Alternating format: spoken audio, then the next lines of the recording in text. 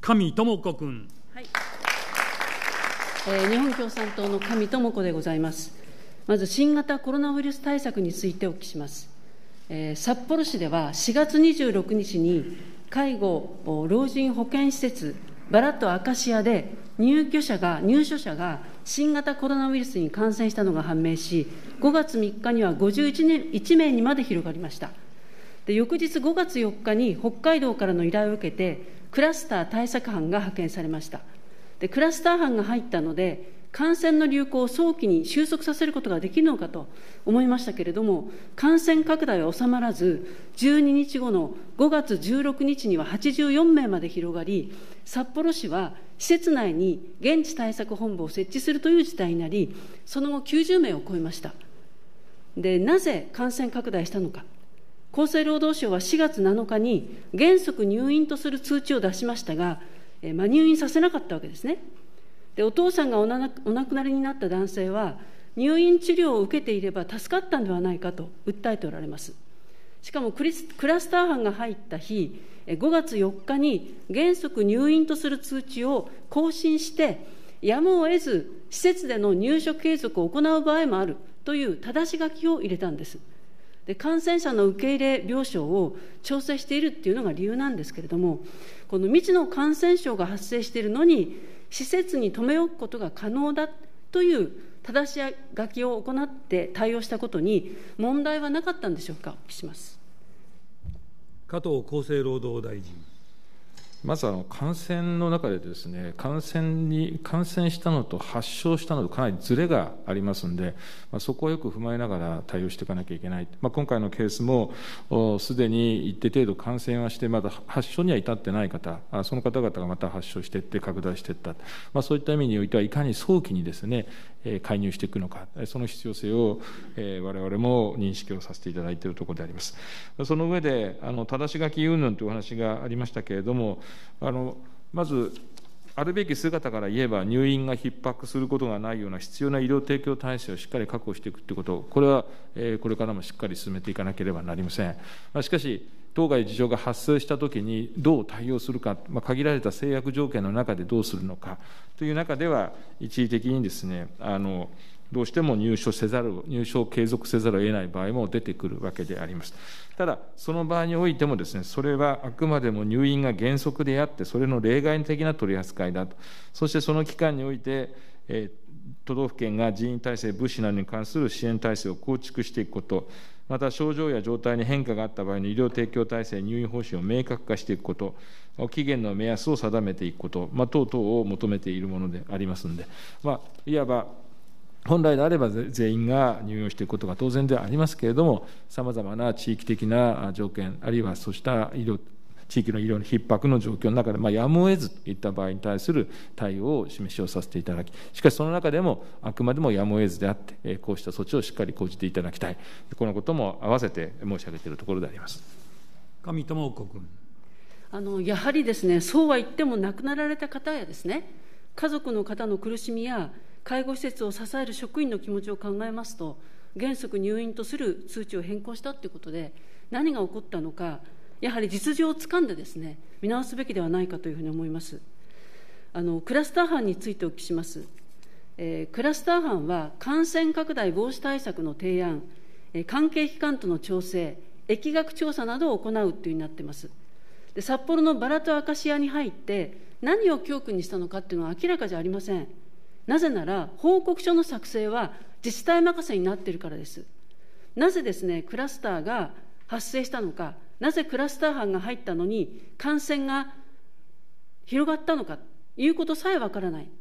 でクラスター班は感染の流行を早期に収束させるために徹底した対策を講じるという方針を受けて設置をされています。それなのに報告書がないと。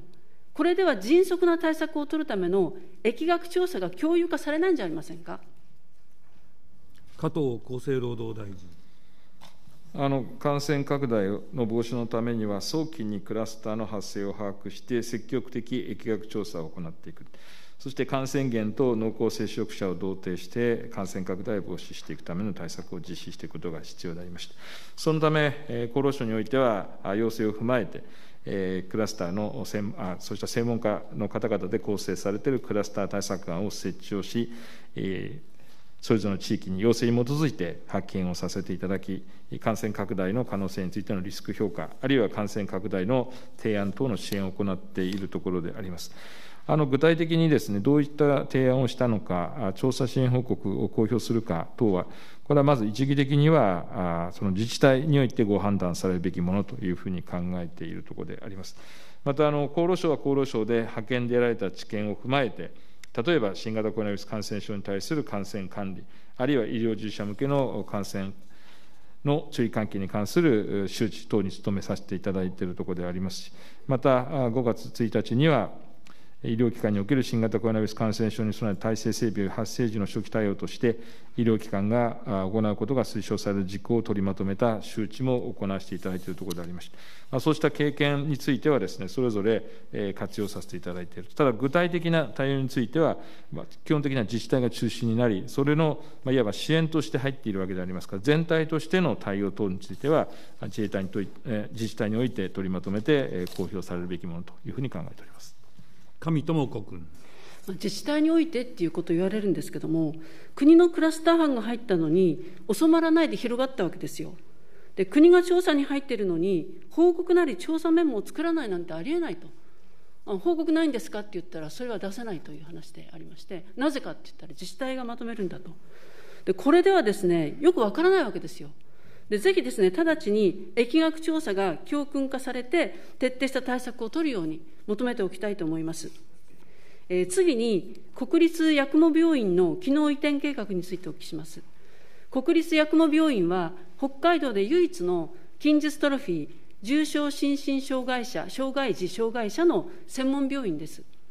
で新型コロナのクラスターの発生が収まらず、第2波に備えた体制が急がれるときに、国立病院機構は、今年8月18日から、近日や重心の患者さんを245キロ離れた札幌の国立北海道医療センターと、八雲から85キロ離れた国立函館病院に移送するといいます。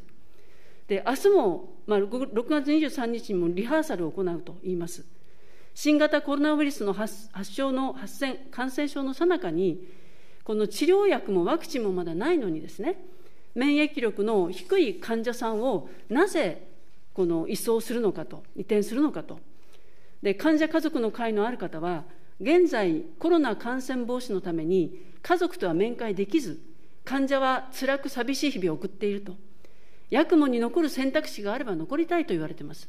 一方、家族有志の会の方も、機構はコロナ禍にあっても、移転計画は一歩も立ち止まることなく、ウイルス感染に対して何の躊躇もないまま進められている。重度の障害を持つ八雲病院の子どもたちの命を危険にさらすことになる。子どもの命を軽視しているとしか思えないと言われています。コロナ禍の移転は子どもの命を軽視している。この意見に理事長さんはどう思われますか？楠岡国立病院機構理事長。お答えいたします。今回の移転の趣旨といたしましては、入院患者さんが今、非常に高齢化されております。で生活習慣病との合併症が、えー、かなり増加が見込まれておりますし、また、え今後とも他の併存症の発生も考えられる中で、え、現在の立地及び現在の医療機能では、それを十分対応できる専門医の確保、充実がえ極めた困難な状態になっております。また高齢化が、ご家族の方自身の高齢化も進んでおり、非常に長距離に、まあ、面会等での移動に関しても、非常に負担になっているという声も聞いております。で以上のような理由から、筋ジストロフィー患者の方々などから移転の要望をいただいたところもございます。これらを踏まえて、平成27年6月の基本構想の公表以降、北海道医療センターおよび函館病院への、えー、機能移転に向けた検討調整を進めており、本年9月1日の機能移転を予定している最中でございます。でごあのご指摘のとおり、8月中下旬に患者移送を予定しておりますけれども、これはあくまで予定であって、今後のコロナの状況をしっかり見極めながら、随時それに対しては必要な措置を取っていきたいというふうに思っております。上智子君。私は、えー、現場から出されている命を軽視してるんじゃないかっていう意見に対してどう思うかってことを聞いたわけですよね。で函館や札幌への移転っていうのはこれ大移送計画になるんですよ。で移送する患者数移送に関わる人員が何人になる予定なのか八雲病院だけでは対応できないと聞いてます。どこから何人程度応援に来るんでしょうか？楠岡理事長。はい、お答えいたします。北海道医療センターには、延べ192名のスタッフにより、136名の患者を移送する予定にしております。また、函館病院には、延べ65名のスタッフにより、54名の患者を移送する予定にしております。で現在のこの計画では、看護師については延べ95名、医師については延べ11名の応援が必要となるため、北海道東北グループ内の国立病院機構の病院へ協力要請をしているところでございます上智子君。あの8月18日から21日までの4日間で、延べ300人体制だっていうふうに聞いてきました。で医師や職員以外に移送業者は、これ、日本通運の運転手120名、車の台数でいうと120人程度と、大移送計画ですよ。それで応援部隊のための宿泊施設も必要になるんじゃないか。で患者あるいは移送に関わる医療関係者、移送に関わる運転手、応援部隊が泊まる宿の感染対策は一体どうするのかと。PCR 検査、移送2週間か ,2 週間前からこれ隔離するんでしょうか。医者、看護師、運転手、付き添い人、宿の職員、それぞれにどうなるのかということを説明いただきたいと思います。楠岡理事長。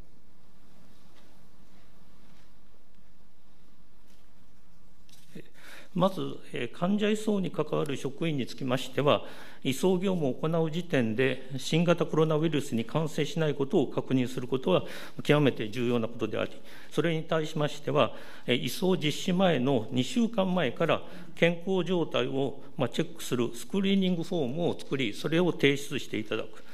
移送前の PCR 検査等の実施については、その対象範囲を踏まえ、現在検討しているところであります。で、質問の宿舎に関してでありますけれども、この現在確保している宿舎におきましては、どのような感染防止対策を取っておられるのかを確認しているところであります。感染防止対策としては、消毒薬の設置、あるいはビュッフェ形式による食事はなく、通常のその個別の食事、その際の座席間隔の保持、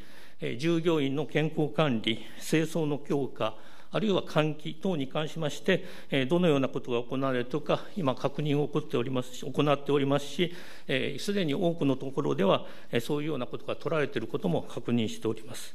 また、それらに加えまして、応援スタッフに対しましては、宿泊する際に部屋の換気をこまめに行う、あるいは手指消毒などを徹底するように周知し、リスクの軽減を図るようにしております。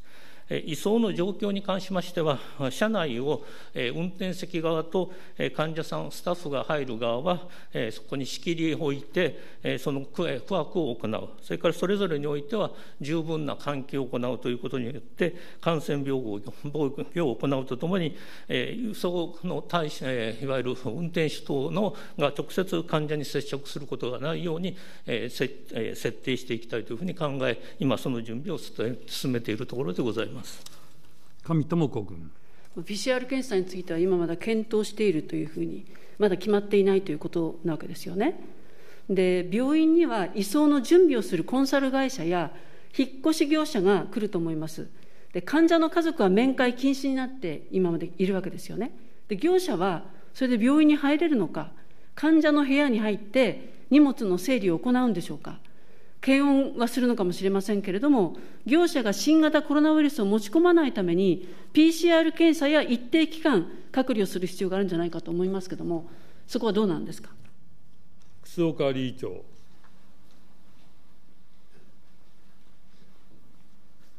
PCR 検査を行うことは確実に行うことにしておりますけれども、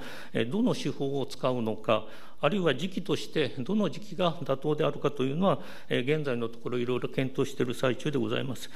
特に今8月という移送時期は今から2か月先ですので、その時点でのコロナの状況、北海道におけるコロナの状況、あるいは周辺におけるコロナの状況を見ながら、PCR 検査を必要とするものの対象者を絞っていくと、絞るというか決めていくというふうに考えております。それから業者の方ですけれども、基本的に移動に伴う患者さんの荷物の取りまとめ等は、病院職員の方で行い、直接的に業者がその患者さんの荷物をまとめるために、病棟の方へ入るようなことはないように行いたいというふうに考えております上智子君。それをどうやってやるのかとよくわからないんですよね。で厚生労働大臣にお聞きしますけれども、あの基本的なことなんですが、新型コロナ感染を防ぐ知見っていうのは確立されてるんでしょうか？加藤厚生労働大臣。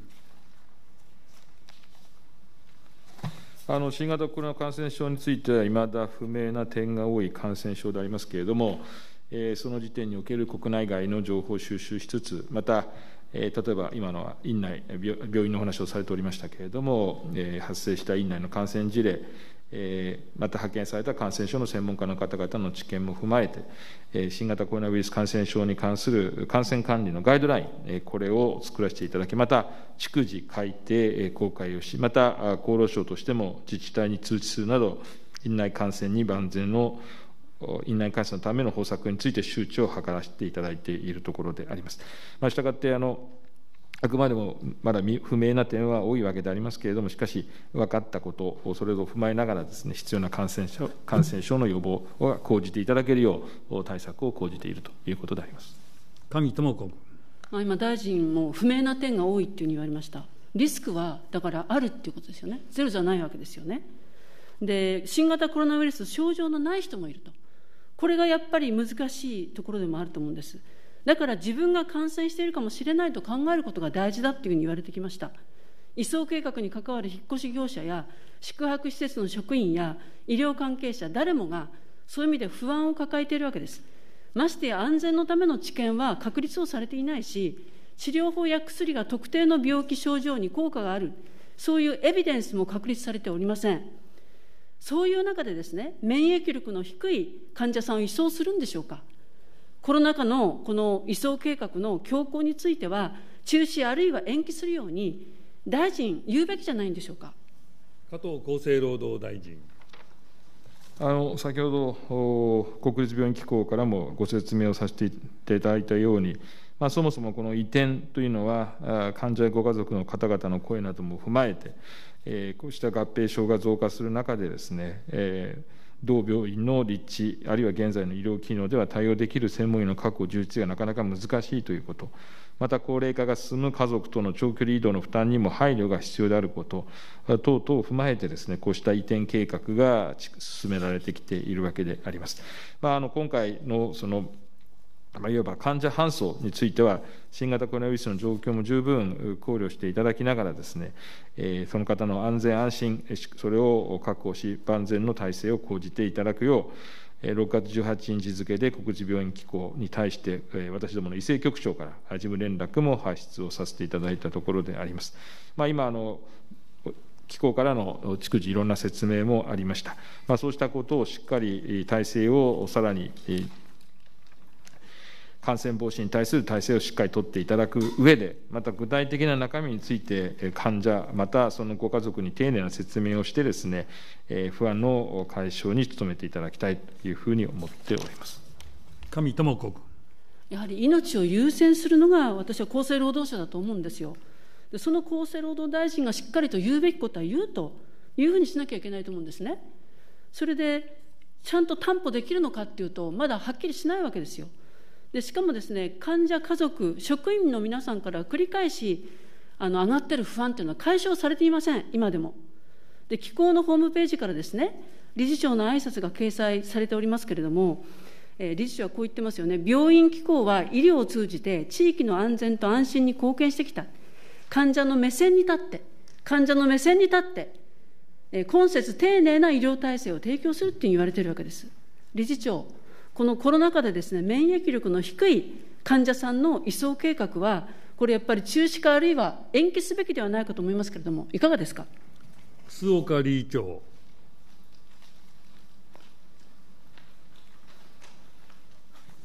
あの現在のコロナの状況が今後どのように展開するかに関しては、全く未知と言ってもいいような状況かと思います。で先ほど申し上げましたように、現在、北海道においては、新規患者が発生数は5人以下、